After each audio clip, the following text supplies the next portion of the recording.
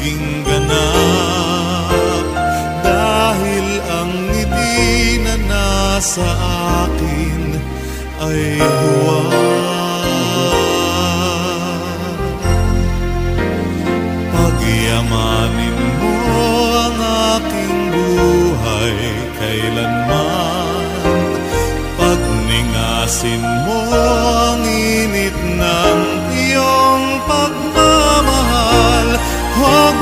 mawalay sa paglingap mong tunay ang yaman ko.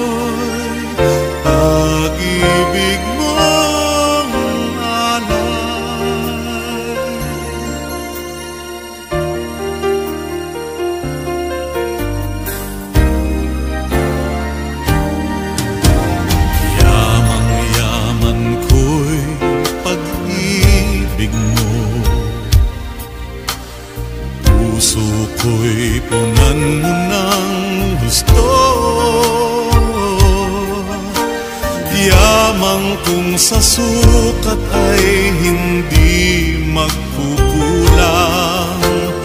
Yamang kung sa lawak ay sadyang walang hanggan.